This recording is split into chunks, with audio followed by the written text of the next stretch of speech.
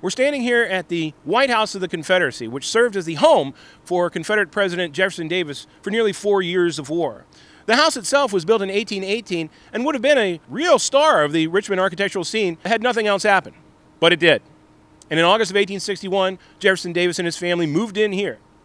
It's so easy to look at men like Abraham Lincoln or Jefferson Davis and look at their official acts, forgetting that these were men who had wives and children and social lives, and it all played out here.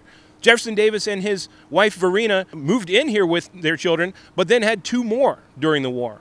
One of them, little Joe Davis, died here in a fall from the balcony in 1864. So all the events of a, of a rich life played out here.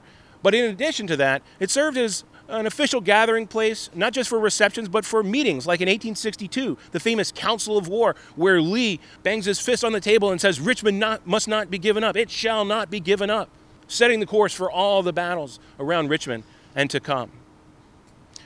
Another interesting meeting took place here, though one that Jefferson Davis did not attend, on April 4th, 1865. Now that it's become the Union Army headquarters, Lincoln met here with uh, two men who came with an idea about how to bring Virginia back into the Union.